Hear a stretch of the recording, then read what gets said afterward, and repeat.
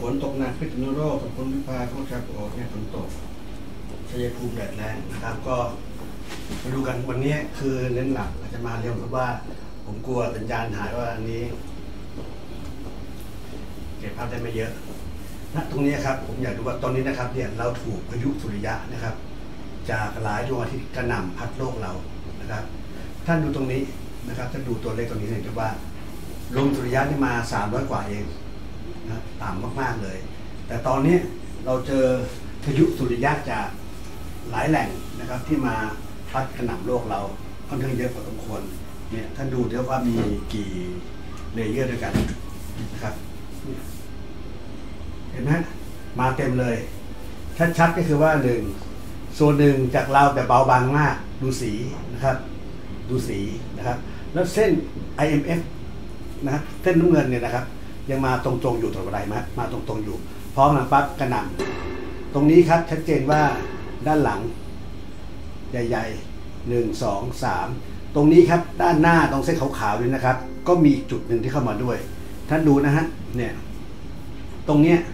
สองกลุ่มแล้วนะครับอันเนี้ยหลักๆหนึ่งตัวนี่อีกสองเป็นสองนะฮะมีไปปลายๆหน่อยๆแต่ตรงนี้ครับชัดเจนมากว่าหนึ่งวงในตรงนี้เห็นไหมฮะขอบใน ระหว่างระหว่างวงโคจรดาวเทียมกับ Van Allen Belt เนี่ยเห็นเห็นมีสอง layer นั้นสอง layer ก่อน Van Allen Belt แล้วพอเลย Van Allen Belt ไปด้านนอก ดูข้างบนสามสี่เลเยอร์เป็นเป็นลูกคลื่นปลิวๆมา ท่านใดคนเห็นภาพว่าวันนี้ทำไมมีเมฆเมฆแผ่นดินไหวเยอะเป็นลูกคลื่นเยอะก็ดูเลยครับเนี่ยมันมาแบบเนี้ย ถามว่ามีผลดีกับเราไหม มันช่วยลดคอสไปเป็นนิดนึงแต่ว่า มันทำให้การปั่นป่วนเยอะพอสมควรนะครับ สนามแม่เหล็กนะครับ ไม่เปรเท่าไหร่ แต่เล็กลงอีกแล้วเห็นไหมเล็กทั้งสองคู่นะเหนือก็เล็กใต้ก็เล็ก เหนือก็เล็กลงใต้ก็เล็กลง วันนี้จะเห็นว่าเส้นสนามแม่เหล็กที่พุ่งกู้โลกเหนือเนี่ยค่อนข้าเต็มวง ที่ผ่านมามันใหญ่มากใช่ไหมออกนอกกรอบเสมอ อันนี้โคตรอัพมาเห็นเต็มหน่อยแต่รูปร่างก็ไม่ดีนไหมฮะเล็กๆหมดเลย มันถูกสปรีดเนี่ยถูกบีบไปแล้วเมื่อมีแรงบีบถูกไหมครับ แรงบีบปั๊บก็ต้องมีแรงดันเพราะเพรสเชอร์มันเยอะบีบมากๆปั๊บเนี่ยถ้าเกิดแรงบีบมันอ่อนตัวก็ดันออกเหมือนกัน ณตอนนี้เราพบว่าพายุสุริยะเข้ามาแปลกๆเยอะ ถึงแม้ว่าการนาซาจะบอกว่าไม่เคยมีอะไรนะครับ แต่สำคัญคือ 3088ที่บอกเนี่ยเข้ามาตรงนี้นะครับ แต่ก่อนที่คือ 3088พวกไปด้านหลังกับ 3085 ที่ระเบิดเยอะมหาศาล ตอนนี้มันพกมาเป็นจุดดับใหม่ที่ว่า 3102 24ชั่วโมงที่ผ่านมาเนี่ยโตเร็วมากครับ พื้นที่ 400 กว่า 500 600เนี่ยขึ้นมางั้นเดี๋ยวว่างั้นพอ 3098 รับไปแล้วใช่ไหมครับ อ้ตรงนี้ครับจะเป็นตัวที่ทริปโลกต่อไปคือน่ากลัวทริปออฟทรินะครับน่ากลัวบอกน่ากลัวจริง ๆ เพราะว่ามันระเบิดไปหลายครั้งปัญหาเยอะครับ และก็อีกหนึ่งวันอีกหนึ่งครั้งที่เกิด ผมเรียกว่าหลุมยุบนะครับ เนี่ยพลังงานหดตัวลดลงมาเห็นไหมเนี่ยอีกแล้ว หลังจาก BM class สองครั้งหดตัวอีกแล้ว ก็มาสอดคล้องกันตรงนี้ครับทำไมมีการยืดตัวหดตัวล่ะนะครับ ถ้าไอตัวที่ดันมามันแรงมันแรงกว่าใช่ไหมครับเนี่ยถ้ามันดันแรงกว่าบางส่วนก็มีผลหรือว่าพลังที่ดันมานะครับ เป็นเป็นจุดก็มีหรือยิงยิงปืนนะครับ มีหลายมีหลายมีหลายหลากหลายรูปแบบเนี่ยดูตรงนี้นะครับ เราเห็นว่าข้างหน้าไม่มีอะไรเวลาเบลยืดได้หดได้ พอมีหน่อยแต่ด้านหลังนี่มีสีเขียวนะครับกับสีน้ำเงินแล้วสีแดงบางส่วนออกมา ความเข้มข้นเห็นไหมฮะมากกว่าด้านหน้า แสดงว่ามันเข้ามาด้านหนึ่งด้านใดนะครับเพราะโลกเป็นกลมนไหมครับโลกกลมงั้นถามว่าเข้าตรงไหนนี่ว่าอีกทีหนึ่งแต่ที่แน่ไม่ไม่ใช่ด้านหน้าตรงนี้นะครับ เข้าบนลงล่างหรือจากล่างขึ้นบนนะหรือจากด้านหลังมา หรือจากด้านหน้าด้านข้างนี่มาอีกทีหนึ่ง มาหลายส่วนคลื่นต่างกันทำให้เกิดสเปกทำให้เกิด generate แสงสีแตกแตกต่างออกไป มาดูตัวโปรตอนเห็นไหมกลางคืนเหมือนเดิมหนักเก็บกักไว้ pressure ครับกลางคืนเหมือนกันนะครับเนี่ยช่วงกลางคืนเนี่ยมี pressure เยอะ ท่านดูนะครับ Van Allen Belt เนี่ยยืดหดยืดหดเหมือนเหมือนอะไรเหมือนแมงกะพรุนเห็นไหมฮะมีหางมาปั๊บ เพราะลมที่พัดเข้ามาเนี่ยมันพัดมาหลายทิศทางเน้นย้ำว่าเพราะโลกลมใช่ไหมครับนั้นโลกลมมาหลายทิศทาง ไม่ใช่จากดวงอาทิตย์เราอย่างเดียว นี่คือตัวย้ำถึงอันตรายที่เข้ามามากยิ่งขึ้นดันแม่เหล็กไม่เยอะนะครับ วันนี้เพราะว่าลมเบาลมเบาๆแต่ว่าการพัดถึงเฉียงแบบนี้นะครับที่ผมบอกนะมันมีผลต่อภูมิภาคและภูภูมิภาคเรื่องของฟ้าผ่าฟ้าสำคัญ เพราะว่าพลาสมาไฟฟ้าเนี่ยเข้ามาเยอะ ดังนั้นเนี่ย ไฟไหม้ป่า ไฟช็อต ไฟไหม้ตามอาคารบ้านเรือน เพราะพลังงานพลาสมาที่มาจากดวงอาทิตย์ต่างๆ ทั้งนั้นเลยนะครับเขาบอกว่าทั้งทั้งนั้นเลย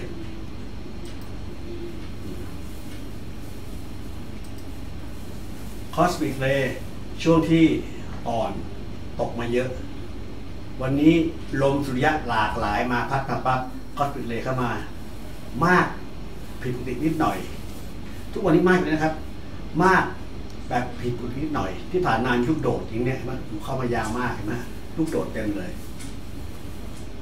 แล้วความถี่โลกวันนี้ถือว่าต่ำอยู่ระหว่าง 4 กับ5เมกะเฮิร์ตซ์นะครับ ความถี่โลก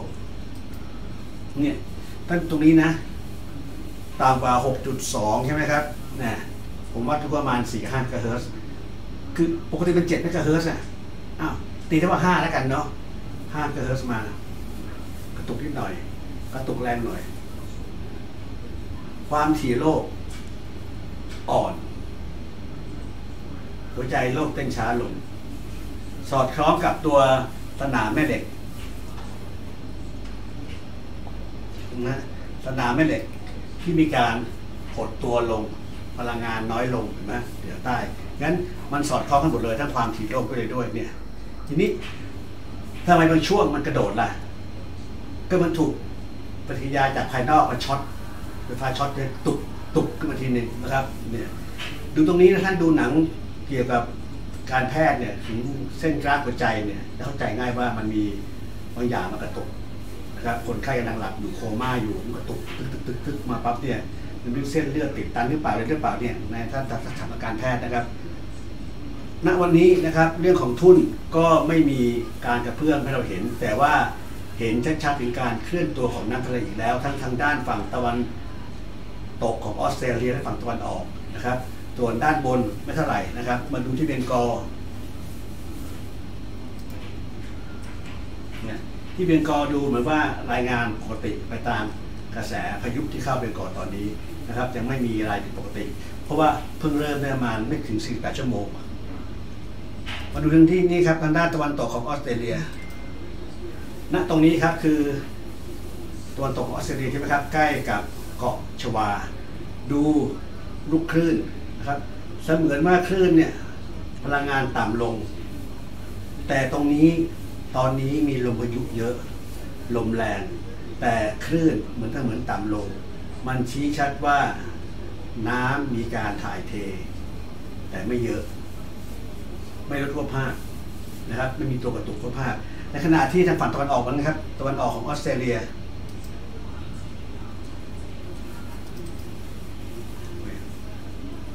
เห็นรูปร่างขึ้นไหมครับเนี่ยตกปั๊บปั๊บขึ้นไปจะตกปั๊บมีแรงดันอีกแล้วอะดันขึ้นอ่าตกมาแล้วใช่ไหมฮะขึ้นไปจะตกมีแรงดันอีกแล้วมีแรงดันจากใต้น้ำขึ้นมาทำให้ลูกคลื่นไม่ตกลง อะไรที่ดันจากใต้น้ำขึ้นมาให้ลูกคลื่นไม่ตกลงให้ระดับน้ำอยู่ตรงนั้น ผมก็ตอบอย่างเดียวว่ามันคือปฏิกิริยาภูเขาไฟถูกไหมครับ มีแรงดันจากใต้น้ำขึ้นมาไม่ใช่เป็นฟองกลุ่มเดียวเป็นทั้งแผ่นนะ เยอะงั้นตรงนี้เป็น bubble ลูกใหญ่ ๆ ที่มีก๊าซซัลเฟอร์ไดออกไซด์นะครับ หรือไนโตรอกไซด์ออกมาจากใต้ผืนผิวโลกนะครับมีปุบๆข้างล่างเราเราเราไม่รู้ แต่ถ้าเป็นลูกใหญ่ทำให้น้ำคลื่นใช่ไหมจะตกลงมาปั๊บขึ้นอีกแล้วอ่าพอตกมาปั๊บขึ้นจะตกปั๊บอันนี้เห็นไหมชัดเจนทวีเลยเนี่ยสองตัว ไม่ปกตินะฮะงั้นเราก็สายจับพวกเนี้ยมาดูแทน ก็เลยบอกว่างั้นแผ่นออสเตรเลียณตอนนี้นะครับแผ่นออสเตรเลียซึ่งอยู่ซึ่งจิบที่ไปเนี่ยครับเนี่ยถึงถึงบ้านเรานะครับขึ้นปัญหาคาชิม ไปถึงอัฟกานิสถาน มีการเคลื่อนตัวนะครับมีการเคลื่อนตัวนั้นตอนนี้มันเกิดเกือบทุกวันทุกวันแล้วก็ฝนพายุที่ว่าจะเข้ามาใช่ไหมครับอะมาดูพายุกัน แต่ก่อนนี้อุตุประกาศว่าพายุจะเข้ามาถึงวันที่4 5 6 7อ่า พอที่7ปั๊บขยายต่อถึงวันที่14 14 ขยายต่อถึง 17 ถึงที่21 22 เดี๋ยวก็ประกาศขยายต่อเรื่อยๆ แสดงว่าตั้งแต่ต้นเดือนมานี่เขาประกาศพายุมาตลอดถูกไหมครับ ระวังนะฝนตกหนักพายุเข้า 5 6 7 อ่าพอที่ 7 ปั๊บ อ่าระวังนะขยายต่อไปถึง 14 14ถึง17 17 22 เดี๋ยวก็ขยายต่อครับ ดูพร้อมๆกันนะครับ ความกดอากาศต่ำลูกใหญ่ อุณหภูมิสูงความกดต่ำมันถ้ายิ่งใหญ่ปั๊บใช่ไหมครับนนี้คืออ่าเดี๋ยวนะ ผมเรียกเส้นเส้น contour อยู่เส้น hec hectopascal มากกว่านะครับ คือจะเรียก contour ง่ายดีกว่าคนที่เราจัดระดับความสูง เพื่อเพื่อไม่ให้ผู้ฟังสับสนนะครับเพราะว่าอย่างบอกเส้นเส้น contour ปั๊บอ๋อเป็นความสูงของแผ่นดินเนาะไม่เท่ากัน 550 540เนี่ยอ่าความสูง แต่ตรงเนี้ยก็เรียกเป็นเป็นความหนาแน่นของอากาศมีความชันเหมือนกันนะครับ อย่างเงี้ยก็คือว่าชันไม่มากไม่เยอะไม่รุนแรง แต่ถ้าเกิดติดติดติดติดติดกันเนี่ยรุนแรงนะครับ แต่พื้นที่มันกว้างใหญ่ไพศาลเห็นไหมครับ เนี่ย ผมจะขยายทีหนึงเอา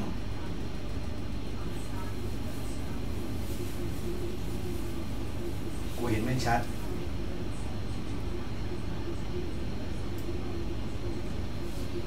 เดี๋ยวนะครับ ผมจะไล่เส้นไล่เส้นเส้นนี้เห็นไหมความกดอากาศนะครับเนี่ย มาปั๊บลงนี่ขึ้นนี่มานี่ ไปนี่นไหมฮะนี่คือวงใหญ่ของความกดอากาศต่ำที่กินพื้นที่กว้างมหาศาล โดยทั่วไปปั๊บงั้นพื้นที่บล็อกนี้คืออุณหภูมิสูง เมื่ออุณหภูมิปั๊บจะมีความกดอากาศสูงหรือต่ำเข้ามาแทรกเป็นทบย่อม แต่ความกดอากาศต่ำไม่เคยเกาะขนาดนี้มาก่อนผมบอกใช่ไหมครับ จากทวีปอเมริกามาทวีปเอเชีย ถึงแอฟริกาถึงยุโรป เราเคยยอมควากดอากาศร่องควากดอากาศ แต่ดูนี่ครับเฮ้ยมันไม่ใช่มันอะไรเนี่ยใช่ไหมฮะแล้วทางฝั่งอินเดียก็มีนะครับเนี่ยทางฝั่งทางฝั่งอินเดียก็มีเหมือนกันสองลูก นี่ก็มีสามลูกงั้นพวกเนี้ยชี้ชัดว่ามันเคลื่อนไปเคลื่อนมาปุโผโผฝนมีต่อเนื่องณจุดนี้ผมว่าเนี่ยมันจะไปซาซาจริงๆ นู่นก็ประมาณก่อนคริสต์มาสนั่นแหละนะครับ พฤศจิกายน ก็ยังตกอยู่นะฮะ เพราะคอสมันเลยเข้ามา แล้วถูกการกระหน่ำหลายทาง มาดูเฉพาะโทนเรานะครับขยายให้ใหญ่ขึ้นพายุใหญ่มากถูกไหมครับ ที่เข้าญี่ปุ่นเนี่ยช่วงนี้ใหญ่หมดเลย ทั้งเกาหลีญี่ปุ่นโดนโดนกระหน่ำซูเปอร์เซลนะครับมาดูประเทศเรา ประเทศไทยนะจาก เบงกอลก็มานะจากเบงกอลเข้ามาเหมือนกันนะดูดไปฝั่งนี้นั้นดูดความชื้นมานะครับรีกลับไปกลับมานะลูกใหญ่แล้วมาเกาะตัวที่ที่เป็นกอแล้วใหญ่ไหมครับ ใหญ่นะฝั่งนี้มากนะจะเป็นกอดึงไปดึงมาปั๊บปะทะไปเรื่อยๆมากดอากาศเห็นไหมครับจากทุ่นมาก็มาต่อเหมือนกันเนี่ยต่อเนื่องกันนั้นเห็นได้ชัดว่า บางพื้นที่บางจุดนะ ร้อนอบอ้าวแต่เดี๋ยวฝนก็มา แต่ตรงนี้ถ้าถามว่าที่บ้านผมเนี่ยนะครับ วันที่เจ็ดอากาศหนาวเย็น อากาศเย็นนะครับ วันนี้ตอน11โมงเช้ายัง24องศาอยู่เลย อากาศเย็นงั้นหลายท่านก็บอกว่าเอ๊ะทำไมทุกเหมือนลมหนาวมามาเร็วเหรอมันก็ไม่ได้มาเร็วหรอกครับ อากาศมันผิดมันผิดปกติไปเห็นไหมฮะเจอฝนเจอความชื้น เจอความกดอากาศสูงขึ้นมาแทรกเข้ามาบางส่วน นำความชื้นมาให้นำอากาศหนาวเย็นมาให้ เคลื่อนที่แบบไปบ่อยๆเห็นไหมฝนตกตลอด ฝนตกตลอดปั๊บเราก็แย่เลยครับ ร่างกายปรับตัวไม่ทัน แต่เชื้อโรคชอบ แบคทีเรียชอบไวรัสชอบใช่ไหมจะเป็นไข้หวัดใหญ่ก็ดีเป็นโควิดก็ดีเนี่ยไม่จบนะครับหนึ่งตุลาก็ไม่จบยิงบอกนะครับ โควิดจริงๆจะเป็นซาประมาณนู้นนะครับ ปลายปี 66 ปีหน้านะครับพูดมานานแล้ว เพราะว่าอย่าลืมว่ามันมี 5 พัตโตเจนนะครับ เป็นเชื้อชีวภาพที่ทำขึ้นมา งั้นโอ้เอาแค่ 5 พัตโตเจนใช่ไหมครับ หลักการธรรมดาสมการง่าย5 5 25 มันสามารถกลายพันธุ์ผสมพันธุ์ข้ามไปข้ามมาได้อย่างน้อยก็ 25 สายพันธุ์ที่ง่ายแค่นี้ไม่เอาจุดๆนะฮะเอาหลักๆ แล้ว 25 สายพันธุ์เนี่ย25 25ลูกผสมเนี่ยมันสามารถมีเล็กน้อยๆได้อีก งั้นการใช้ยาผมก็มองว่าเอายาพื้นบ้านเรื่องของฟ้าทลายโจรกับกัญชาดีที่สุด กัญชากินวันละสามใบเช้ากลางวันเย็นง่ายสุดครับนะฮะณวันนี้เครื่องไปจบวันที่ 26 กรกฎาคมอ่อกันยายนนะ26 กันยายน 26 กันยายนอยู่ตรงนี้เห็นไหมครับ 26นั่นต้องเป็น27 28 29 30 อิทธิพลมัน แนวโน้มน่าจะที่ที่เกาะไหหลำขึ้นไปโฟโมซา แต่อิทธิพลโดนแน่นอนใกล้แน่นอน 26 27 28 29 30 งั้น ไม่ใช่ว่าวันที่ 22 แล้วพายุจะหมดประกาศเตือนเราให้ระวังน้ำป่าและหลากจะหยุดไป มีต่อเนื่องตลอดเวลาระยองดูว่าน้ำลดน้ำดีขึ้นภาคราชการตั้งตัวได้ทัน แล้วก็ฝนลงน้อยลงแต่ อย่าเพิ่งเก็บของนะครับ เอาของไว้บนที่สูงก่อน อย่าเอาลงมาข้างล่าง อะไรที่ไม่จำเป็นต้องใช้นะครับเดี๋ยวต้องรีบซ่อม อาจเจอซ้ำสองซ้ำสามงั้นพักไว้ก่อนเบรกไว้ก่อนณจุดนี้มาดูวันที่ 23 22 ตอนกลางวันนะครับ22 วันที่ 21 ดูภาคกลางนะ จากวันที่ 20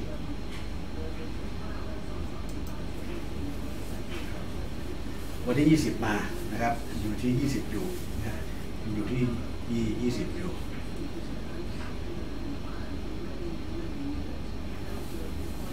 ดูตามนี้ฝนตกตลอดนะเห็นไหมฮะระยองจันทร์เข้าเรื่อยๆนะฮะจากแก้วนครนายกแล้วมาวันที่ 21 เริ่มเยอะแล้วกรุงเทพก็มีเยอะมากนะครับ แล้วก็น้ำเดี๋ยวก็กำลังมาด้วยนะครับ22นะครับประจวบคีรีขันธ์เพชรบุรีราชบุรีนะครับ23ถ้าดูในวันนี้เอ๊ะ23ฝนตก24ตกเยอะด้วยนะครับกรุงเทพภาคกลาง24ยังมีฝนตกอยู่เหมือนกันนะครับ แล้วมาวันที่24มีฝนตกอยู่เห็นไหมฮะแล้วมาวันที่ 24กลางคืน เข้า25ก็ตกอีก ตกหนักอีก นั้นตรงนี้เห็นชัดว่า23 24 25นะครับ ต่อ26เนี่ยทางภาคกลางมีฝนตกเยอะ แล้วก็น้ำที่มาจากภาคเหนือนะครับที่เร่งระบายไปนะครับ จากเขื่อนจุคอมาก็ดีจากเขื่อนจุลมก็ดีนะครับจากเขื่อนปะแล้วก็จะเขื่อนเจ้าพระยาที่ระบายเล่นพ่องน้ำไปแม่น้ำป่าสักเล่นพ่องน้ำไปก็ดีนะครับ ก็จะมีผลช่วงแต่วันที่ 21 เป็นต้นไปนะครับจนเกิดมีระดับน้ำในแม่น้ำลำคลองต่างเพิ่มมากขึ้น ก็ต้องเพิ่มความระมัดระวังให้ดีๆตั้งแต่ 20 21 มานไหมฮะเจอผลตลอด สุดท้ายคือวันที่ 26 ภาพโดยรวมนะครับภาพโดยรวมก็ต้องระวังนะครับระวังให้ดีๆขออนุญาตนั่งนะครับ เรื่องของ หลุมยุบที่ว่าเนี่ยนะครับ มันยังมีแบบพลังงานที่แบบ แปลกๆนะครับ เข้ามาเยอะ ซึ่งมันไม่น่ายุบตัวไปขนาดนี้ แต่มันก็ยุบตัวเยอะเหมือนกันนะครับ เยอะเหมือนกัน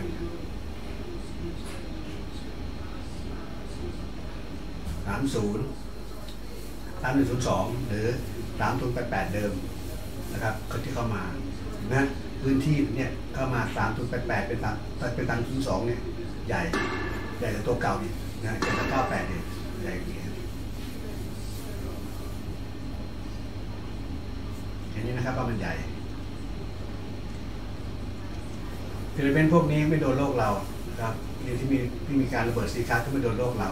แต่หลังสีจะโดนแน่นอนแหละแต่ตัว CFE เนี่ยไม่ไม่ไม่โดดครับเพราะว่าคนคนละทางกัน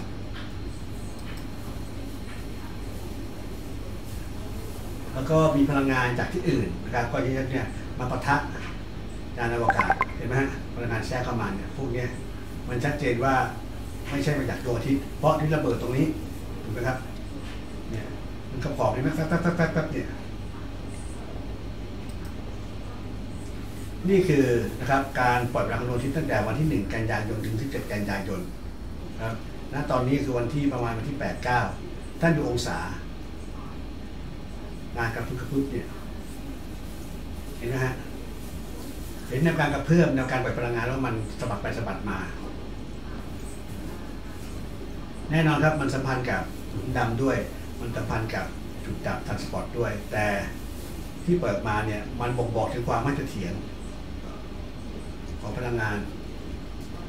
มันบ่งบอกว่ามีพลังงานจากที่อื่นนะครับ มีแรงดึงดูดมี gravity มาดึงดูด โคโรนามาดึงดูดเปลวสุริยะตรงนี้ที่มีงานกระเพื่อมมีการดึงดูดพลังงานที่ออกมาจากให้มีการกระเพื่อมนี่ 14 นะฮะอันที่14 หนัก 14 เจอสองด้านบนด้านด้วยอันที่ 14ที่10นะครับเนี่ย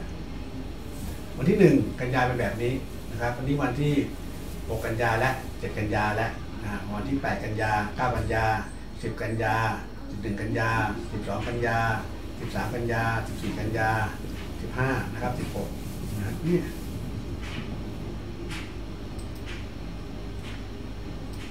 เห็นข้อมูลเขาไม่สบายใจนะครับไม่ก็สบายใจ แล้วตรงนี้ครับท่านดูดีครับยกขึ้นมานะครับก็ไม่สบายใจเท่าไหร่นัก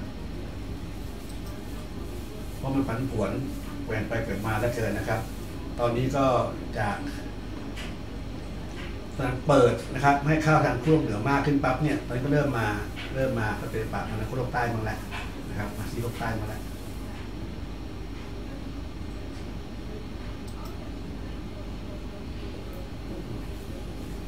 ไม่ไม่ตรงโลกเรานะครับ แต่ว่าแสงพวกนี้เน้นย้ำว่าแสงแต่พวกนี้เป็นพลังงานทั้งคอสมิกเลยด้วยทั้งพลังงานที่มาจากอื่นด้วยมากระทบโลกเรานะฮะไม่ให้จากดวงอาทิตย์เรา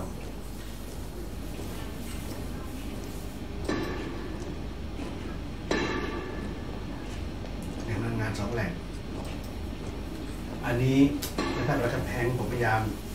เปิดสายที่แล้วนะครับ มีเสียงกระแทกก็อย่าตกใจนะครับ เป็นเสียงเขาใช้กระทากระแทกพื้นนะครับ ที่งานประสบของตมเด็จพระนางเจ้านะครับพระชนีทิสเบตนะครับ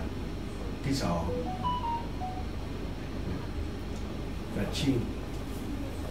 พลังงานเข้าเยอะนะเห็นไหมสีเข้ม แต่ออโรราไม่ค่อยมี นไหมเห็นสีเข้มนะครับ เนี่ยรังสีนะฮะ R1 R2 เข้ามาเนี่ยโอ้โหแบบเยอะออโรราไม่ไม่เท่าไหร่ ไม่มีใครพูดออโรราตอนนี้นะครับเพราะว่าตัว CME เนี่ยไม่ได้พัฒผ่านในโลกเราเดิมที่ดูมันสมุดตอนเช้านะครับ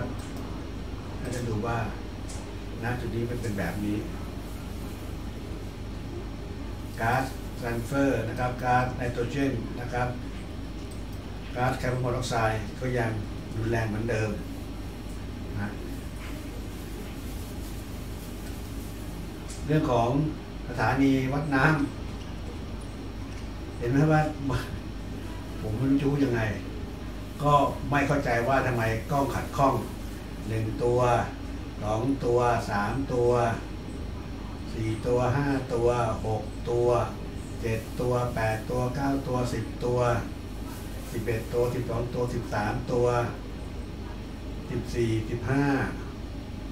สิบหกสิบเจ็ดสิบแปดสิบเก้ากล้องขัดข้องสิบเก้าตัวก็ยังขัดข้องอยู่อย่างนั้นนะครับก็ ไม่รู้เหมือนกันว่าทำไมตั้งแต่จับตาดูมานะครับสองปีมาเนี้ยนะครับ เรื่องของกล้องพวกนี้ ไม่เคยเห็นวันไหนมาเต็มทุกทีเลยนะครับ มีอย่างน้อยวันสิบต้องมีสิบตัวที่มันไม่ทำงาน อย่างตับมีสิบตัว เมื่อสิบตัวขึ้น ก็เลยไม่ทราบว่ามันเป็นเพราะอะไรนะครับ ไม่รู้จะโทษใครหรือต้องจะเบรมใคร แม่งัด 88 นะครับ แม่งัด 88 แล้วก็มาที่ยิวคอหมา 93 นะครับ แม่หมอก 86 นะงั้นกิวคอหมาก็เร่งระบายลงลำปางลำปางก็มีน้ำล้นเยอะนะครับงั้นลำปางก็ต้องเตรียมตัวให้ดีนะครับ จากลำปางกันเนี่ยก็มาที่ตากนะครับนาตากพิษณุโลกต้องเล่นพร่องนะเขื่อนลำปาว70ลำตะคอง 76 นะครับเดี๋ยวโอเคครับยังไม่ถึง 80 อีสานที่ถือว่าภาพรวม 71 ใช้ได้ครับ อย่าให้เกิน 80 นะครับ ภาคกลางนะครับ ทับสลาว 71 นะครับกะเสียว 74 นะครับป่าสักพ่องละ40 แล้ว น้ำน้อยน้ำไม่น้อย ถามว่าทำไมป่าสักหลือ 40 เองอะทำไมเร่งปล่อยน้ำจังเพราะว่าเราเห็นว่าน้ำจะมาจากภาคเหนือก็เยอะ จะมาจากฝนก็เยอะงั้นป่าสักที่ต้องรีบพร่องก่อนไม่งั้นเดี๋ยวต้องรีบปล่อยมาปั๊บก็น้ำท่วมรุนแรงถูกไหมครับนี่ต้องเข้าใจนะอย่าอย่าอย่าไปว่ารัฐบาลไปว่าชนชนประธานนะครับ ศรีนครินทร์81 นะครับเกินเชลงกร 65 นะครับ บางพระ 97เห็นไหมบางพระ 97 หนองปลาไหล 80 93ศรียัด 71 ขุนด่าน 83 เห็นไหมนะประแส 92 ขุนด่านกับประแสก็ต้องรีบเร่งพร่องน้ำก่อนตอนนี้น้ำไม่พร่องเนี่ยไม่ต้องไม่ต้องเยอะ แต่ต้องรีบเร่งพร่องนะครับ ก่อนที่น้ำจะมาหนักกว่านี้ถ้ากลัวเขื่อนพังนั่นเร่งระบายเต็มที่ดูที่เขาตัวท้ายนั่นนะน่าจะเกิดขึ้น บางราง 47 นะครับ ถามว่าบางราง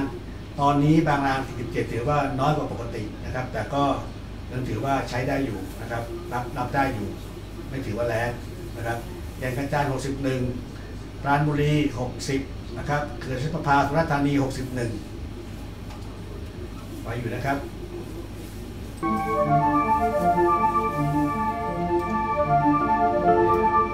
ีกไม่เท่าไหร่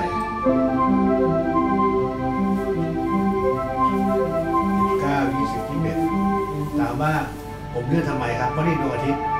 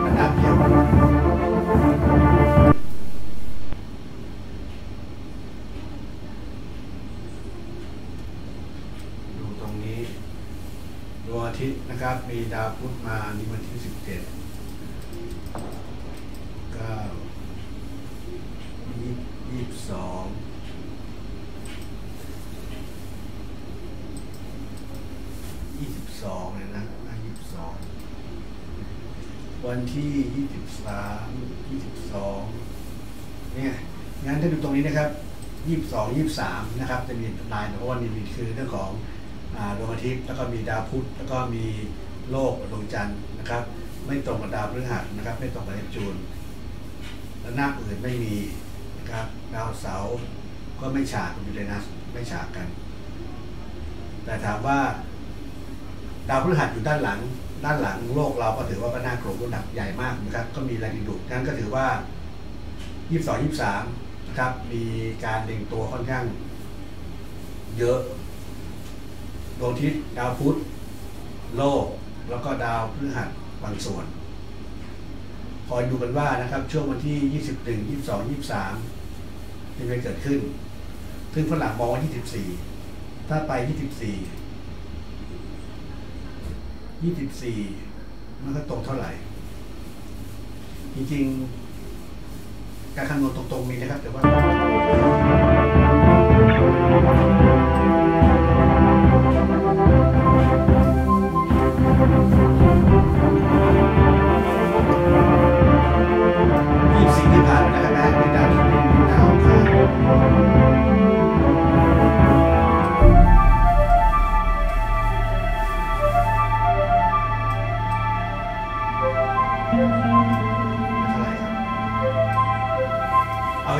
วงเวลาเป็นที่ของ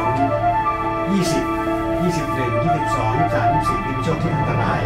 น่าจะมีแผ่นดินไหวขึ้นมาใหญ่แต่ตอนนี้ยังไม่มีหลักฐานนะครับหลักฐานข้อมูลเด่นชัดว่ามันจะเกิดขนาด9ลิตรขึ้นไปนะครับยังไม่มีรายงานเรื่องของปลาทะเลเรื่องของสัตว์ทะเลขึ้นมาเกยที่ชายหาดนะครับยังไม่มีก็ ไม่น่ามีอะไรนะครับ มาดูคำถามนะครับคำถามก่อนกินยานอน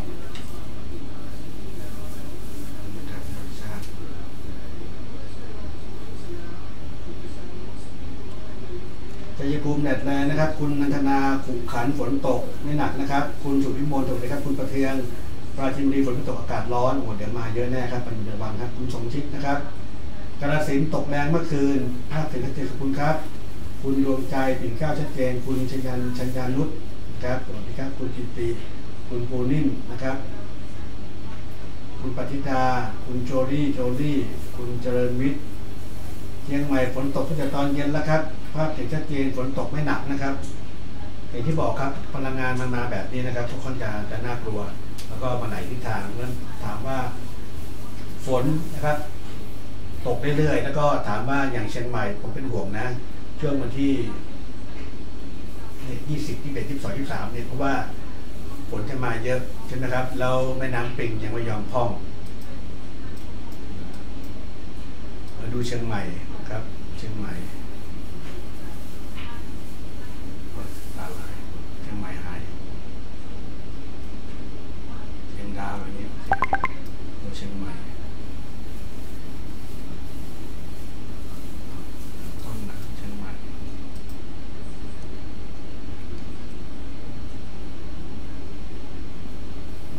ณตอ นี้นะครับ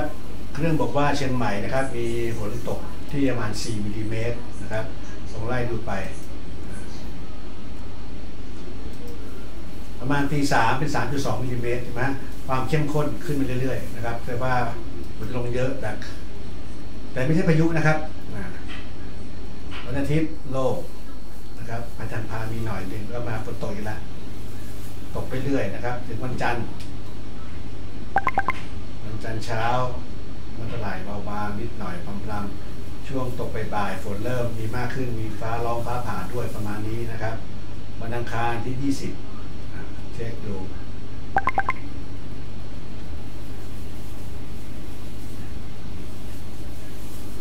มาเข้าวันพุธที่ 21 นะครับอนุปริมาณเนี่ยเข้มข้นขึ้นหน่อยเป็นช่วงๆ21 12นะเป็นช่วงๆ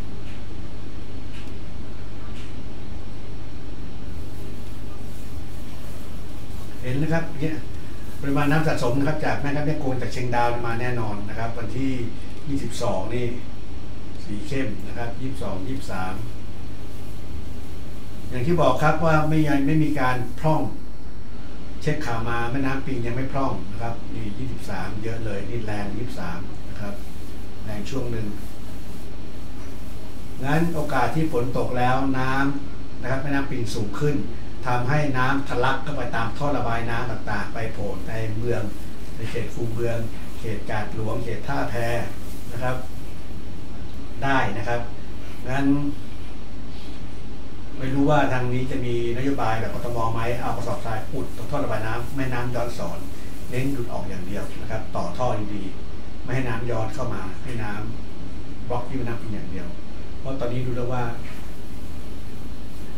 โดยทั่วไปครับฝนตกตรงนี้เยอะนั้นน้ำลงตรงเชียงใหม่เยอะตามร่องต่างๆนะครับ จะเป็นเชียงดาวก็ดีจอมทองก็ดีนะครับ มีผลแน่นอนทางหางลงด้วย ก็ได้จะบอกว่าเชียงใหม่คงมีน้ำท่วมนะครับลำปางก็ตามลำน้ำปิงเริ่มมีการท่วมนะครับ ระหว่างสองฝั่งอยู่แล้วเพราะว่ามีการปล่อยนะครับ ปล่อยปล่อยน้ำนะครับ จากขี่คอหมา แล้วก็ฝนตกด้วย ณตอนนี้ครับยังไม่เห็นเรื่องของสุโขทัยนะครับของแพร่ของน่าน แต่เกินเศรษฐกิจก็ถือว่ายังรับน้ำได้อยู่นะครับ เพราะว่าการพร่องน้ำยังไม่เท่าไหร่นะครับดูที่เขื่อนเศรษฐกิจ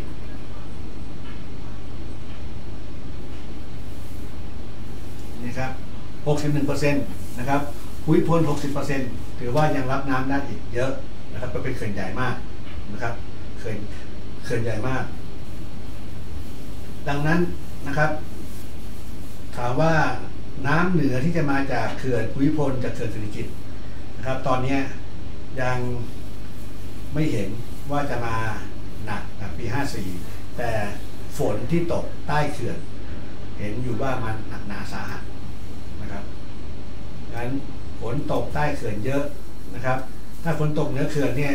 สิริกิตรับได้สบายสบายๆตอนนี้นะครับ ภูมิพลรับได้สบายสบายตอนนี้มีปัญหาอะไรนะครับ แต่ที่ตกมาด้านล่างนี่นะครับนะตั้งแต่ลำปางลงมานี่นะครับคือคือตัวประเด็นหลัก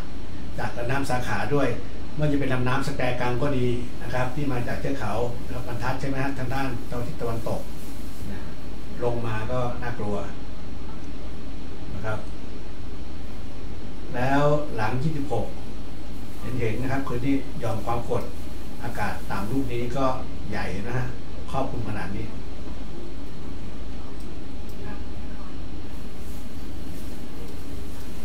กรอบนอกอยู่ตรงนี้ครับอยู่ที่ชวานี่คือกรอบนอกนะครับ ที่ชวา ตรงนี้เป็นความกดอากาศสูงแล้วนี่ความกดอากาศต่ำเส้นนี้กรอบนอกหนึ่งหนึ่งนะครับ อันนี้หนึ่ง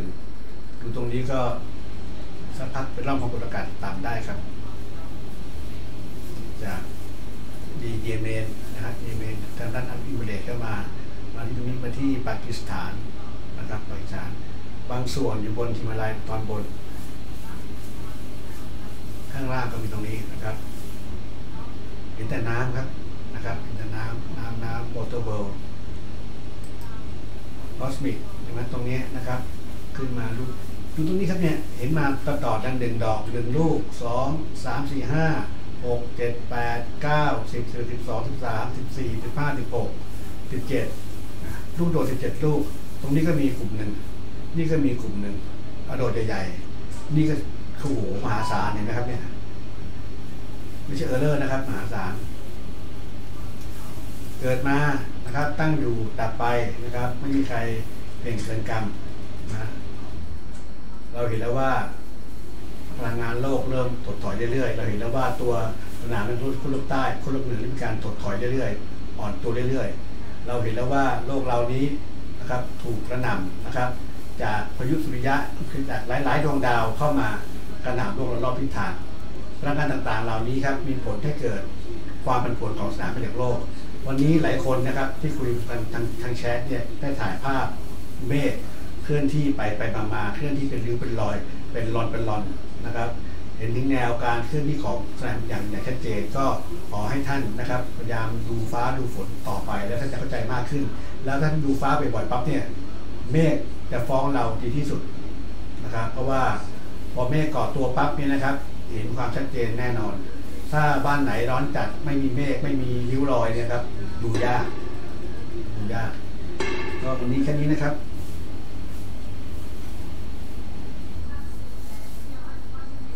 บึงการฝนตกทั่วฟ้า ตกรอบเมืองในเมืองตกน้อย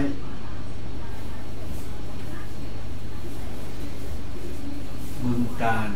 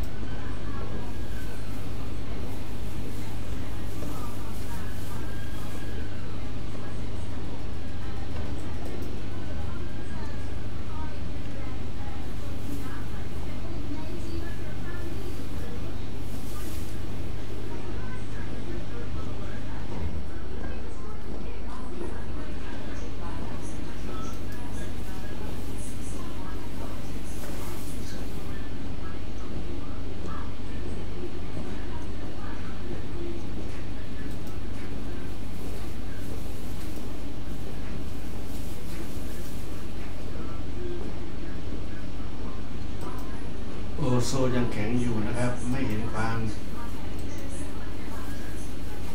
พันคโคโซน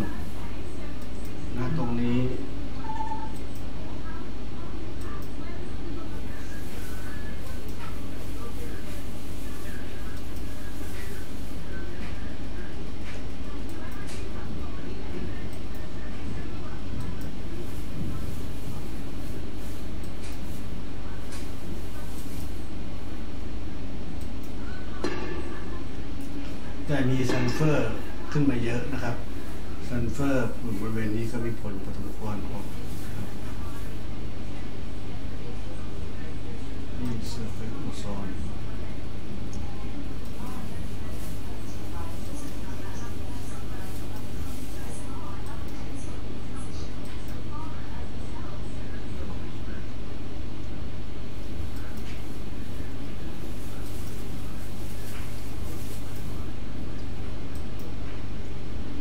คือถ้าถ้าเกิดจะบอกว่านะครับมันเกิด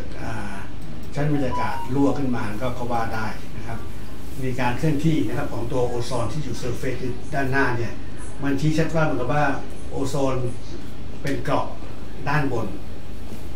แต่โซนด้านบนเนี่ยทำไมมันยุบตัวมันต่ำขนาดนี้ ก็คือว่ามันเกิดเป็นรูรั่วในชั้นบรรยากาศต่างๆ ให้โอโซนยุบตัวลงมาก็มีผลนะครับนี่เนี่ยถึงเราถึงขอนแก่น ครับโอโซนเซอร์เฟซเนี่ยนะครับต้องตรวจพวกนี้ครับนะ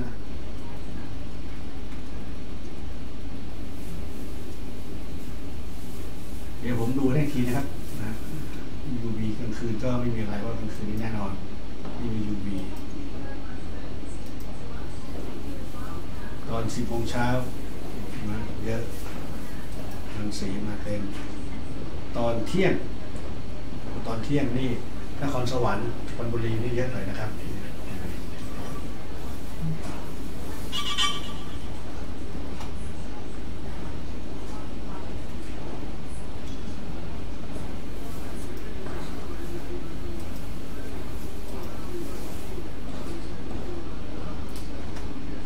ว่ามันผวนเยอะ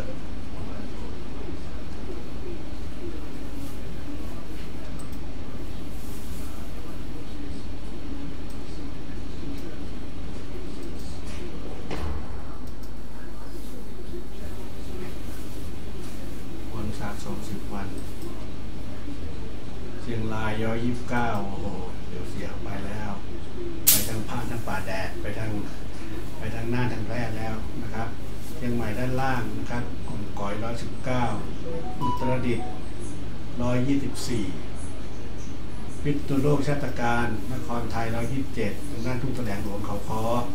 ร้อยยี่สิบเก้าขอนแก่นด้านล่างทางอำเภอพลร้อยสี่สิบมูลอุรธานีร้อยยี่สิบสองสุรินทร์ร้อยสามสิบสองศรีสะเกษร้อยยี่สิบหนึ่งบุรีรัมย์นางรองร้อยสี่สิบหกนครนายกร้อยสามสิบสามสระแก้ว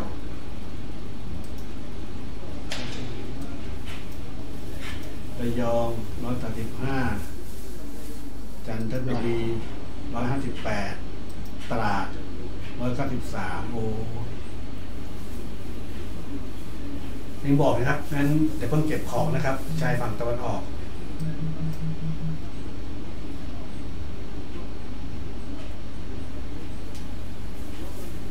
เห็นนะครับ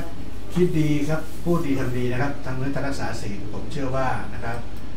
ความดีที่ทำไว้นะครับ เทพบิดาฟ้าดินจะช่วยชี้นำท่านถูกทางอย่าลืมนะครับ ที่หมายปลายทางท่านต้องมีนะจะซื้อที่ปลูกบ้านทำบ้านดอกไฟใต้ดินบนดินก็แล้วแต่นะครับหรือจะไปอยู่บ้านเพื่อนอยู่แล้วแต่มันต้องมี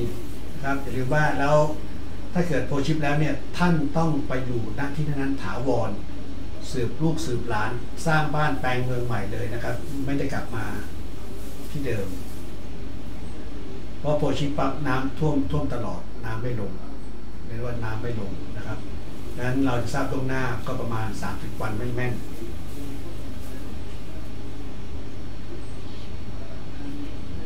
ซึ่งเตรียมการตอนนั้นจะเป็นมันจะไม่ทันนะครับเตรียมการขั้นตอนนี้แล้วก็อย่าลืมนะครับผมฝากเรื่องของคุณเพโรด ที่เขาคอด้วยนะครับ ตอนนี้ยอดที่ได้มายังไม่ถึงสามหมื่นเลยครับ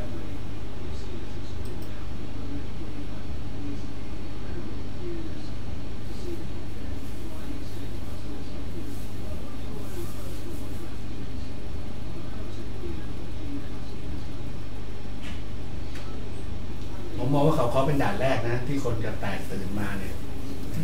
เขาคาะเป็นด่านแรกที่ต้องมาเนี่ย คือบางคนก็ก็ไม่ก็ก็เอาเนี่ยใครคุณนึงเนี่ย คุณธนพงศ์เขาไม่มีตังค์ซื้อโฟมวิวหรอกครับ คุณธนพงศ์ใช่ไหมฮะยังมันแค่แค่นี้ก็ผ่อนจะแย่อยู่แล้วเนี่ยเดี๋ยวรถมันแต่ละคันแต่ละคันเนี่ยใช่ไหมครับ ถ้าถ้าทุกคนมีตังค์ซื้อโฟมวิวมันก็ไม่ต้องขอทำถนนหรอกครับนะแล้วอย่างเวลาขนเอาพืชพันธุ์มาขายเนี่ย ก็ต้องมานี่เช้าๆเนี่ย แค่ไปโรงเรียน ถ้าท่านดูนะครับ เนี่ยเราทำมาหลายทีนะครับ ถ้าไม่เทไม่จบเนี่ยใช่ไหมหินคลุกมาเทแล้วเทแล้วปั๊บเนี่ยน้ำมันแรงต้องเทซีเมนต์อย่างเดียวว่าทำยางมาตอยยางมาตอยยากกว่านะครับมาลำบากกว่าไม่มีรถทำนั้นเทซีเมนต์ง่ายสุดบ้านแข็งแรงอยู่นาวเลยอยู่ยาวเลยทีนี้นะต้องการเงินช่วยเหลือ ผมมองแล้วว่าเนี่ยหลายท่านที่บอกว่าเอ้ไม่มีตังค์นี้มาปั๊บเนี่ยก็มาเขาคลองเป็นโรดมาได้สบายมากที่มี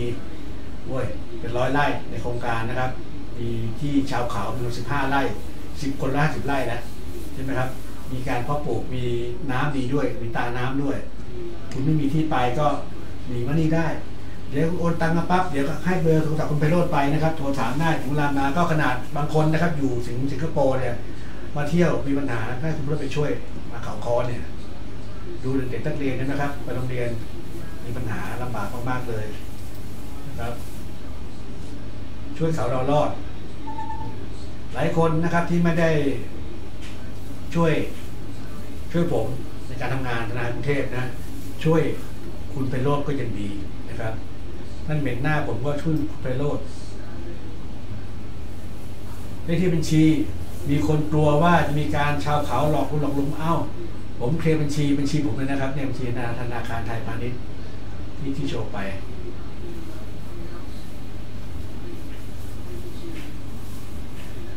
เนี่ย อีก ครั้งนะครับ ธนาคารไทยพาณิชย์เนี่ยนี่มีบอกที่บัญชีนะครับ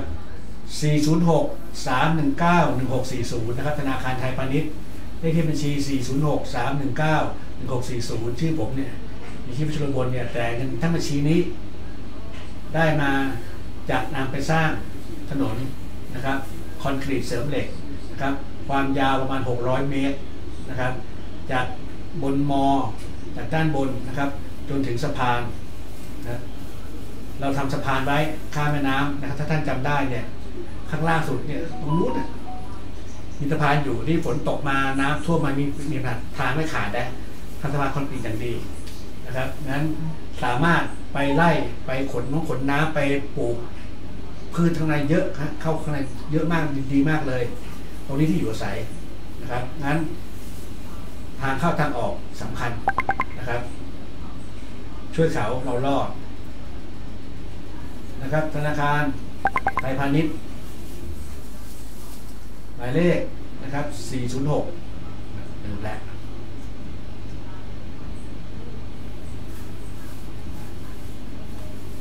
นะไม่ช่วยผมนะครับ ช่วยเขาก็ยังดี 406 319 1640 นะครับเป็นบัญชีไทยพาณิชย์ 406 319 1640 นะครับ เพื่อนำเงินไป ซื้อซีเมนต์จากแผ่นนะแผ่นปูน SCG เหล็กแบบกับแรงชาวบ้านลงขันเหมือนกันนะครับ ไม่ใช่ว่าขอจากพวกเราอย่างเดียว ที่หนึ่งที่ท่านสามารถไปได้เมื่อเกิดโพชิป มีคนช่วยเหลือท่าน ตามความสามารถของเขาตรงนั้น 15 ครอบครัว มีชาวเขาทหารอาสาสมัครที่รู้กับ ผู้ก่อรัฐสมัยก่อนเนี่ย15ครอบครัวคอยช่วยเหลือท่าน แต่ว่า15ครอบครัวก็มีสมาชิกประมาณเกือบ200คนนะครับกำลังคนแน่นหนา ทุกคนยิงปืนเป็นด้วยนะครับ ไม่มีปัญหาได้การจะยิงขโมยขโมยสบายมากพวกนี้สบายมากฝึกการรบเรียบร้อยแล้ว เป็นบริการได้อย่างดี อยู่กับเขาปลอดภัย